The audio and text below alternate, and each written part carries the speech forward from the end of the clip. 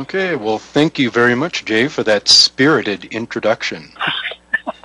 I would also like to extend my welcome to all of you uh, joining us for this webinar. Uh, my hope is that we're able to offer you a few insights into your options for managing agricultural workers. As Jay mentioned, I'm an extension specialist at the University of Wyoming. Um, I've been here a little over 30 years, Jay, and in the last 20 or so, I have focused most of my work uh, in the many areas of risk management, including some different efforts within the human resource risk uh, category of the five different sources of risk that we face. Uh, I've been con- a contributing member of the Right Risk team as well as the Ag Help Wanted team uh, in the past uh, and uh, continue to do work in both of those teams up into the present. Um, and we'll explore a little bit more about that as we go along in this webinar. We have several different learning objectives for the webinar. The first is we hope you gain a basic understanding of the approaches for staffing a farm business. Uh, second, we want to take a, a look at uh, the ins and outs of supervising ag workers. And finally, uh, we're hoping to get you a little better prepared to manage for managing employee performance and especially the various options for pay and benefits.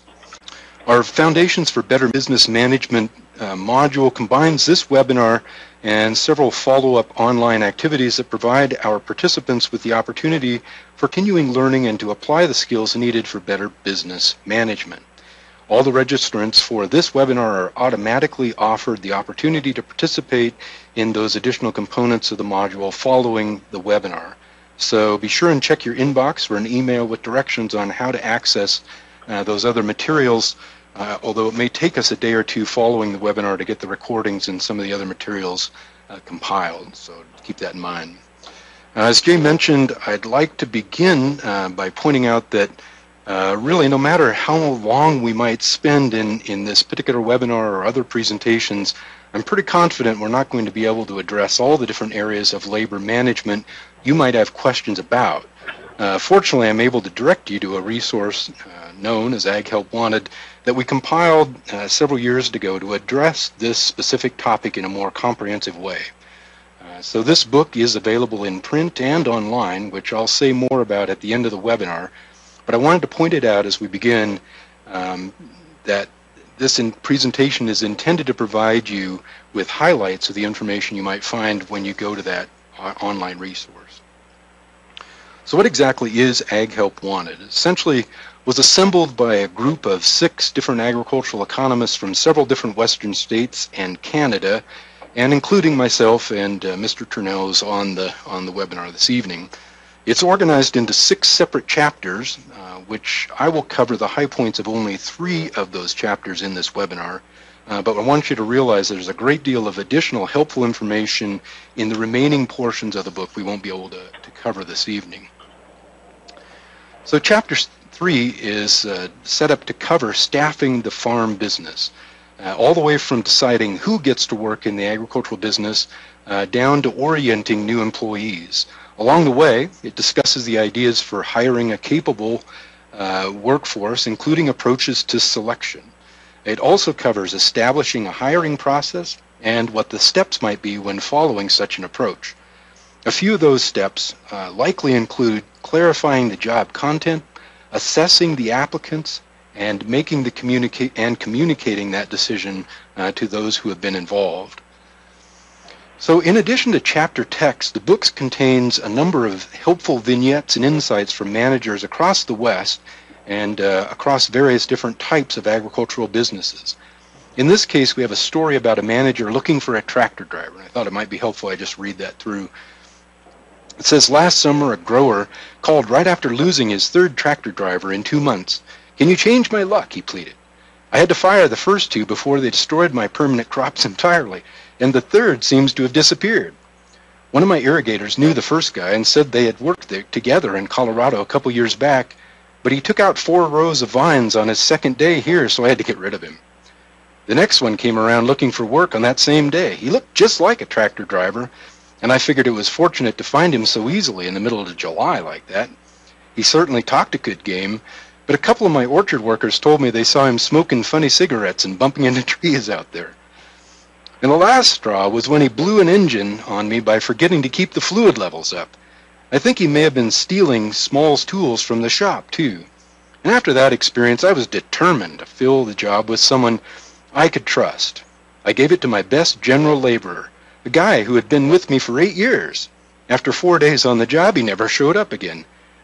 And the picture was beginning to come clear. This rancher had hired three tractor drivers, but like many farm and non-farm employers alike, he did not really select them.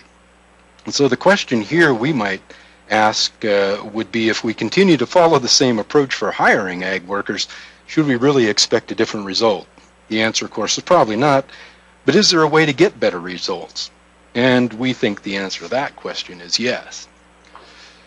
So Inconsistency between job requirements and individual abilities is a prime foundation for poor performance.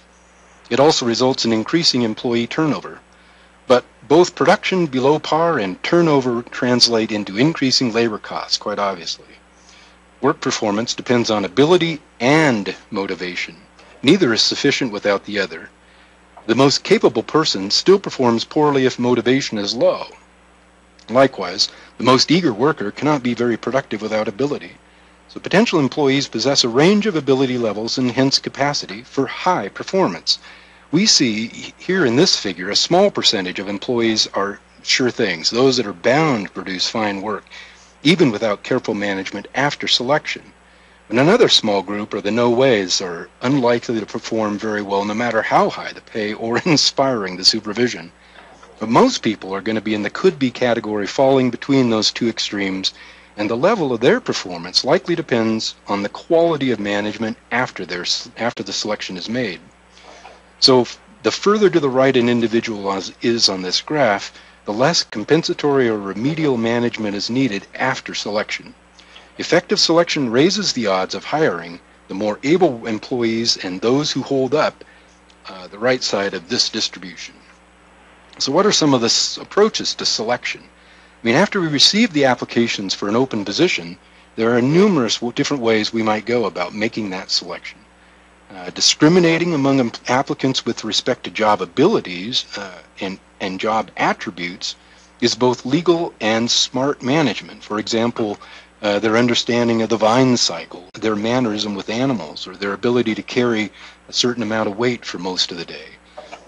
Federal and state laws, however, prohibit hiring discrimination based on several personal factors such as race, gender, etc. And those that generally are characteristics that have no bearing on their ability to perform the job. So in general, most of us would be looking to move from the walk-ins or those that just kind of feel right to those who seem more suited to the job or who might meet our publicized criteria. Certainly there are circumstances where we might not hire the very best qualified candidate. Probably the most common uh, departures from this would be um, those circumstances that require significant employee development on the job. In those cases, uh, promoting a current employee to a position with greater responsibility may make the very best sense. However, it would be best if this were made clear to all workers up front as uh, promoting uh, those from within can send a clear message to those that are other persons that are in the system. So what are some of the steps in the hiring process? And this is probably not a comprehensive list, but it certainly is a long one. Uh, the idea behind developing a process for hiring is to get to a place where we best match people's skills and interest with the jobs that are available. So you might not want to follow all of the steps that are listed here, or you might not feel that they're necessary, but at least all those steps should probably be considered before we opt for a shorter version of the process. So having the information about the job in a written form lays the foundation for recruitment, selection, and management later on. So a job description certainly should outline the basic details of the job, its purpose, its content, and its attributes. Again, a formal job description can prove valuable later if legal challenges ever come up. To prepare to assess applicants, uh, employers should be very clear about job qualifications and how to get information on whether the applicant meets those qualifications. You may want to set up a matrix describing a percentage weighting uh, system across the various duties of a specific position to help with consistently assessing each applicant. For example, if there's a greater concern for how well the applicant fits with the, within the organization uh, or works well with other workers, then you could give more weight to that particular criteria. Information about applicants should be collected in steps when the focus uh, can be given to those who are a better match as the process continues to move forward. And chapter 3 in the text offers uh, guidance for setting up a process that kind of follows this approach. So here's an example of how to conduct an interview. Uh, each candidate should be offered the same interview experience to avoid uh, possible legal issues and to be fair. Having a ready list of questions that we ask of each candidate allows for a more consistent evaluation of each one. Other portions of the chapter uh, touch on resumes, administering skill tests, checking references, and legal and illegal discrimination. So the time and effort invested in one position versus another should be commensurate with the importance of that position. A rancher farm manager position is likely much more important than this week's haying crew, for example. Making the decision may require consideration of other details too, such as how well would the person fit in with coworkers, or would they reflect well on the operation, or might they bring more to the job than we're looking for? So when we offer the job, it can be done verbally. However, better documentation of the offer and acceptance would be done in writing. The offer can spell out the details of the job, such as the place of employment, the wage rate, the work activities, period of employment, etc., etc. But the offer can also spell out what the uh, formal acceptance should look like, such as a reply with a signed letter, for example. It can also be a good idea to notify those that are not or were not selected uh, they may be interested in other positions you know about or that you have open, uh, and your top candidate may not actually agree to your terms. So keeping uh, the lines of communication open with the other applicants might be a good, good insurance policy. And although you may be lucky enough to fill your position with the top candidate, it doesn't necessarily guarantee success on the job. The first day or two on the job likely set the pace for the future employee relationships with that particular person. So attention to detail here can just can be just as important as all the steps prior to hiring. So helping the new employee learn the ropes, learn what is expected, where to go for instructions, where to go for assistance, etc., is a big step in the right direction for everyone involved, and uh, can't overemphasize the need for orienting employees as to what you're what you have in mind for that position and how to get help should they need it. Now, moving on to chapter four is covers the entire uh, cross section of of the elements within the idea of supervising that agricultural worker once you have them on the place. Uh, so it covers various approaches and considerations for supervising workers. Uh, specific sections uh, range from deciding which employees will supervise, how work is going to be assigned, uh, supervisory decision making, as well as uh, supporting teamwork and how to foster that a little more effectively. This diagram, uh, taken from the book, describes the situation commonly found in most operations uh, with more than just a couple of workers. In this case, the supervisors are the people in the middle, and as such, they are a critical link between management and employees. They are the individuals charged with getting things done through others, and not everyone is cut out for this sort of work. Delegation is another completely separate element here and to take into consideration. Uh, this takes place uh, at at least two different levels. Management delegates to supervisors, and then those supervisors in turn delegate to operational workers. Now, clearly, delegation is likely necessary within any kind of an operation because the volume and range of work to be accomplished uh, is so great. Rarely can one person get it all done on their own. But rather than whether or not to delegate, the question is probably usually more of what to delegate to whom, when, and to what extent. The chapter covers the challenges managers uh, face when making these decisions and suggests they carefully uh, consider those different options and it offers the guidance on the approaches and techniques that may work for your situation. Certainly there are different styles uh, for decision making, especially within the supervisory realm. So beyond delegation, managers should also carefully consider the level of participation employees will have within the decision making structure. Uh, in some cases, they will have a very minimal role, and in others, uh, greater participation. Again, the chapter offers several things to think about uh, when making this decision and, and the approaches that you might be going to use or suggest that supervisors use. Another section of the chapter uh, looks at leadership and influencing workers to do their best versus using various types of power to get the work done. Obviously, different situations call for different approaches, and in addition, what works for one individual may not be the best approach for another. So uh, this portion of the chapter may give you some different ideas for, again, motivating folks uh, to get the kind of work done that, that you desire. Uh, also, managing supervisors is a different challenge than managing workers. Obviously, how well supervisors are doing at their jobs can lead to better outcomes. And conceptually, what we're talking about here is that better management should lead to better supervision, in which case we should get better work out of our workers. So uh, this section of the chapter offers some ideas and, and, thoughts about how to manage the supervisors within your organization. And then um, su supporting and, and managing teamwork, there's certain types of ag operations rely more on, on teamwork than others, uh, clearly, but, uh, but it's a critical part of, of various different kinds of, of uh, harvesting operations across a great section of the of the West, at least. And so this chapter offers some some ideas to how to better support teams and how to develop a sense of teamwork amongst your workers. So that may be helpful. The fifth chapter within Ag Help Wanted covers the various aspects of managing employee performance.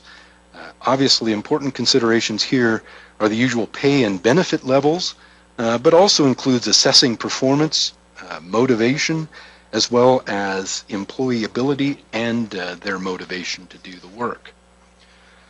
So touching first on managing employee performance, uh, performance management covers all that different communication between the manager and the employee. It must include what to do, how to do it, how well it was done, as well as how to improve the next time around.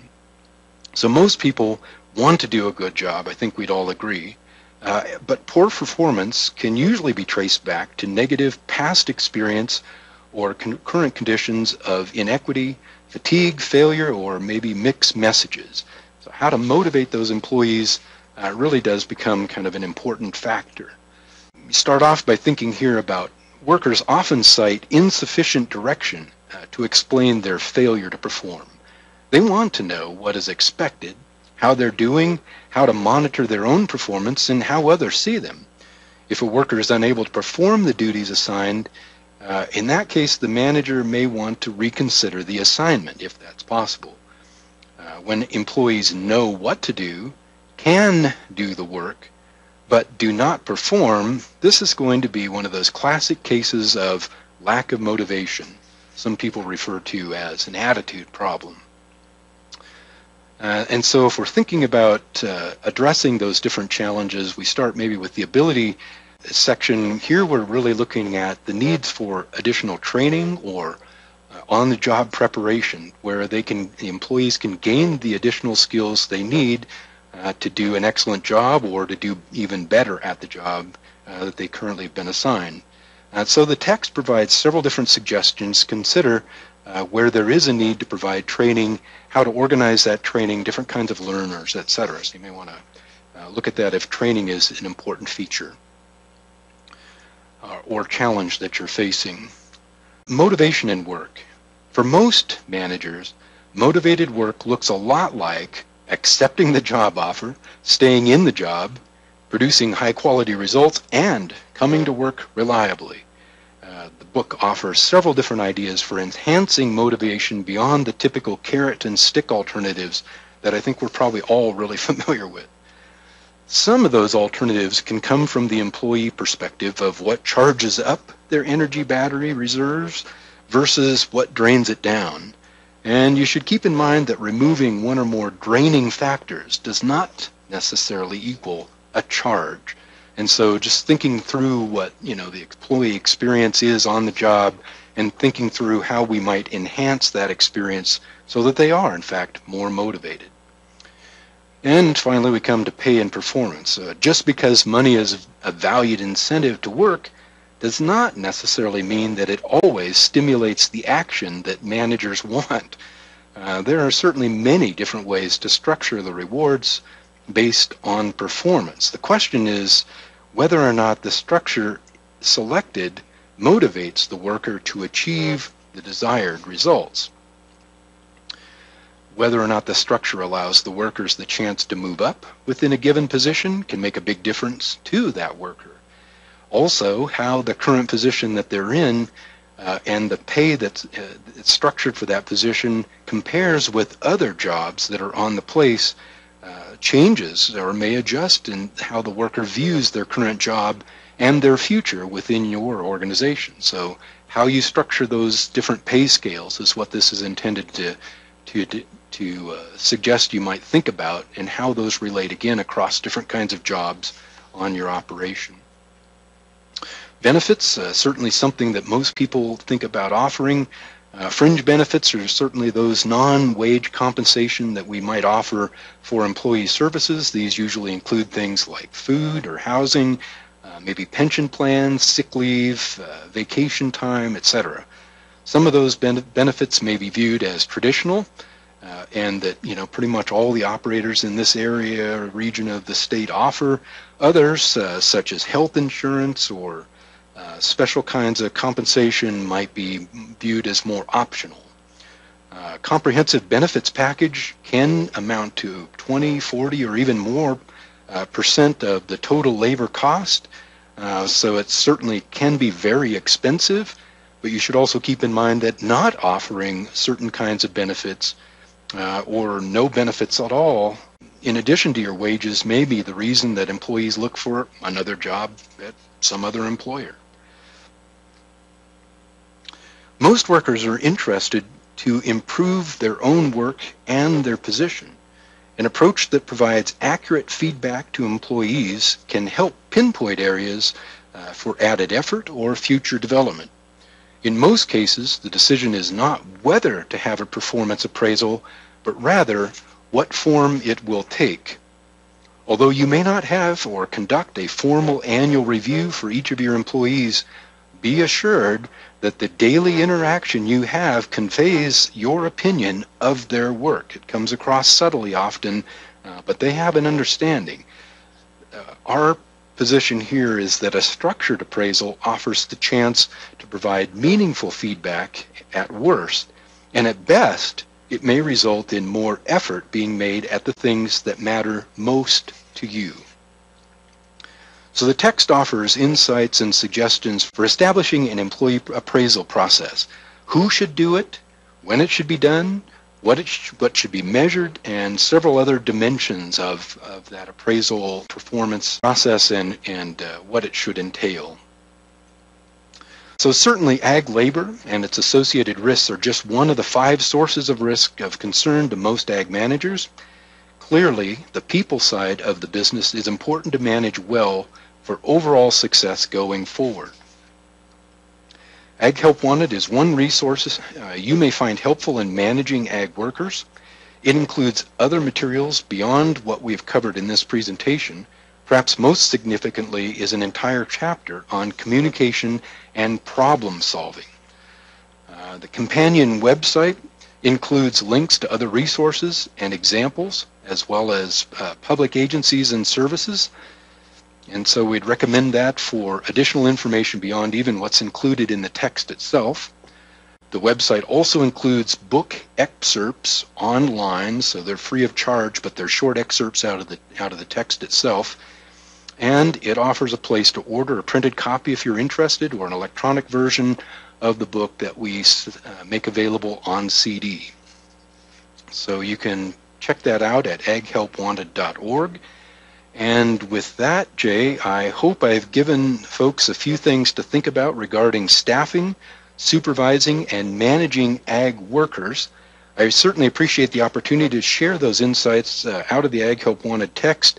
I hope you find them helpful. With that, I guess I'd be happy to try and answer any questions that you might have.